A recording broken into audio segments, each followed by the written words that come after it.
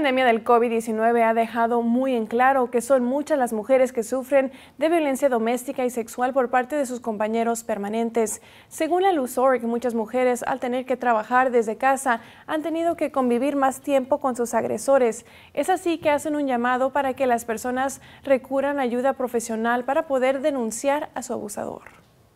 Ah, bueno, las estadísticas aquí este, en, Estados Unidos de la gente que ha sufrido abuso sexual en la comunidad hispana es de una de cada tres mujeres sufre por abuso sexual, de algún tipo de agresión sexual en sus vidas